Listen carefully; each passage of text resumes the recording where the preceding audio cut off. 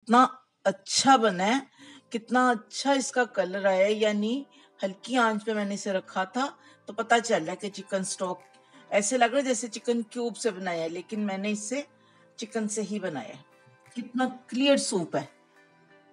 Viewers hot and salt soup के लिए सबसे पहले इसमें मैं विनेगर डालूँगी। ये तमाम चीज़ें मैं आपको बता चुकी हूँ। शुगर जाएगी चाइनीज़ सॉल्ट जाएगा सॉल्ट ब्लैक पेपर ये dark soya sauce four tablespoon chilli sauce one tablespoon मैं जो सूप बना रही हूँ, बिल्कुल रेस्टोरेंट स्टाइल में बना रही हूँ, जैसा कि रेस्टोरेंट में मिलता है। लेकिन अगर आप इस, इसको चेंज करना चाहते हैं तो इसमें two tablespoon tomato ketchup भी डाल सकते हैं, लेकिन पहले आप बिल्कुल मेरे तरीके से ही बनाइएगा। तो व्यूअर्स इसमें हम अब वेजिटेबल डालते हैं।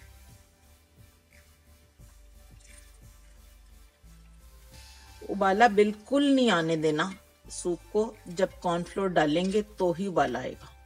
और अब ये गाजर। हम इसमें कॉर्नफ्लोर एकदम से एट टेबल स्पून नहीं डालेंगे। पहले फोर टेबल स्पून डालेंगे और फिर उसके बाद दोबारा फोर टेबल स्पून डालेंगे। वो इसलिए कि एट टेबल स्पून कॉर्नफ्लोर एकदम से हल नहीं होता। तो व्यूअर्स ये फोर टेबल स्पून मैं इसमें डाल रही हूँ और डाल के चम्मच चलाऊँगी। अब हमने इसे मिक्स करना है और फोर टेबल स्पून और पानी में हल करके फिर इसमें डालना है। और ये ये फोर टेबल स्पून मैं दोबारा डाल रही हूँ। और व्यूज़ इसे कंटिन्यूली चलाते रहना एक सेकंड के लिए भी नहीं रोकना इससे उस वक्त तक, जब तक कि ये थिक ना हो जाए। देखें सूप थिक हो गया हमारा।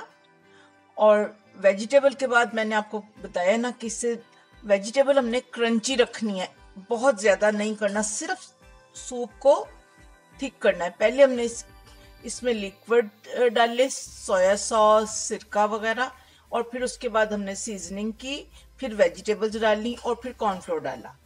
और अब हम इसमें ये एक कप चिकन डाल रहे हैं।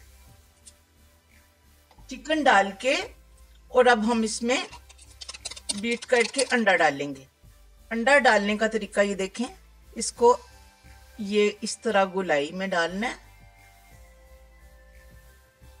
और डाल के थोड़ी देर के लिए चम्मच नहीं चलाना। और ये इस तरह से गुलाई में ही चलाना चम्मच। ये भी देखने में आपको लग रहा होगा कि नज़र नहीं आ रहा अंडा, अभी मैं आपको दिखाती हूँ कि कितना खूबसूरत लगेगा ये। अंडा भी गुलाई में डालना है और उस में स्पून भी गुलाई में चलाना है। और